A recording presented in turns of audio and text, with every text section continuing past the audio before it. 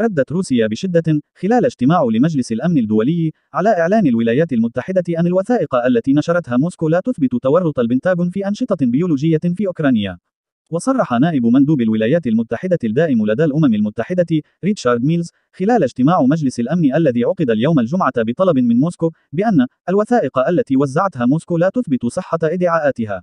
وقال ميلز إن روسيا نشرت هذه الوثائق في محاولة لصرف الأنظار عن أعمال العنف التي ترتكبها في أوكرانيا.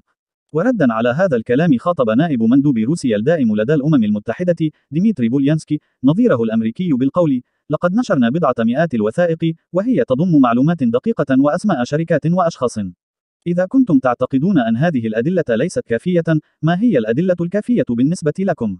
وتابع: نطلب منكم توضيحات، ولن نترك هذا الموضوع كما هو، ومحاولاتكم لتحويل شكوانا وأسئلتنا الموجهة إليكم إلى أحاديث فارغة عن الدعاية الروسية لن تمر، وسوف تضطرون إلى تقديم توضيحات مفصلة بشأن الأنشطة الإجرامية التي تمارسونها في أوكرانيا. ويأتي ذلك بعد أن أطلع مندوب روسيا الدائم لدى الأمم المتحدة فاسل نيبينزيا مجلس الأمن خلال اجتماع اليوم على بعض الحقائق التي أعلنت موسكو أنها اكتشفتها خلال عمليتها العسكرية في أوكرانيا وهي تؤكد ممارسة الولايات المتحدة أنشطة بيولوجية عسكرية خطيرة ومثيرة للجدل في أوكرانيا. وأكد نيبينزيا أن روسيا تعتزم تفعيل المادتين الخامسة والسادسة من معاهدة حظر الأسلحة البيولوجية بغية فتح تحقيق دولي في هذا الشأن.